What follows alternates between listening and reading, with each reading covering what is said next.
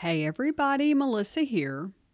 So, if you do any kind of video creation or Zoom calls and your desk is set up like mine, so you have your monitors in the front and your cameras behind that, then you can have lighting issues if your monitors are on.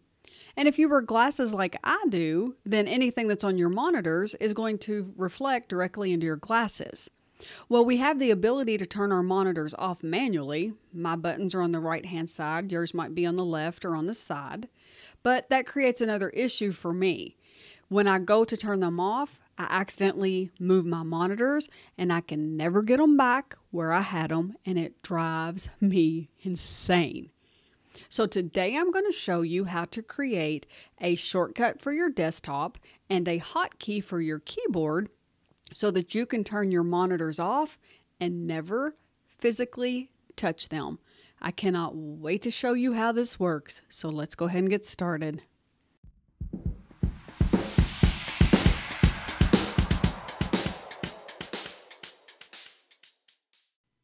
So we're going to be using what is called a PowerShell script to create our desktop shortcut and our hotkey for our keyboard.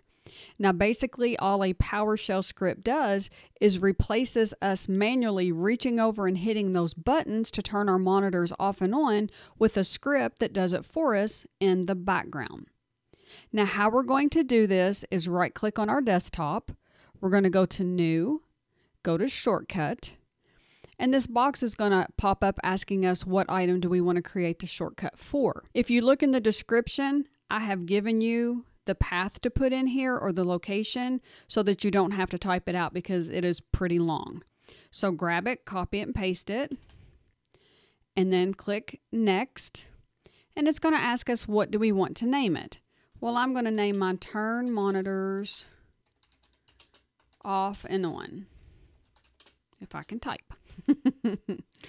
Tell it to finish, and it's created a desktop shortcut. Now, if we double click on this, our monitors are going to go off. Now, if we move our mouse, our monitors come back on. Now, the next thing we want to do is create our hotkey for our keyboard. So we're going to right click on the shortcut, go to properties, and then down here where it says shortcut key and none, this is where we're going to put our shortcut key. Now, a word of caution is use something that is not already being used somewhere else, like I'm going to use Control Shift Alt M because that's not being used anywhere. If you were to use Control Shift D and you're in Microsoft Word and that is set up, I believe, to double underline or something like that, then it's going to do that rather than turn your monitors off. So uh, try to find something that's not already being used that you can remember.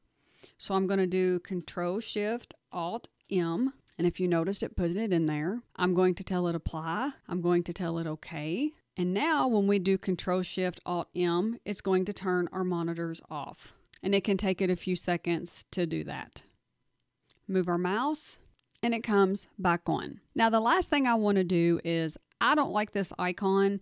And if I have a bunch of icons on my desktop, that looks like something from the post office to me.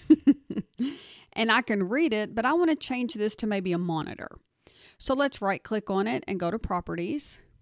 And we're going to go to change icon. Now look for icons in this file. It's defaulting to where our PowerShell script is. So we're going to have to change this. I've also put that path down in the description so you can find it easily. And that is in C, Windows. We're going to go to Windows System 32 be very careful when you're in here because this has a lot of DLLs or executables that control your operating system. So don't be scared of it, but be careful. And I'm going to do IMA because I know that's the beginning of what I'm looking for. And we're looking for this DLL here. Tell it to open. And now our icons are here. And there's a bunch we can choose from. But I'm going to click on the display monitor, tell it OK, tell it apply, and OK. And now we have our turn our monitors off and on with the display. So let's go through this one more time. Double click on it and it turns off your monitors. Move the mouse, brings them back on. Control Shift Alt M turns your monitors off, move your mouse, and they come back on. And there you have it. That's how you can create a shortcut for your desktop and a hotkey for your keyboard so that you can turn your monitors off and not have to touch them, and that way they will stay exactly where they're supposed to be. if you found this video helpful, please be sure to give it a thumbs up.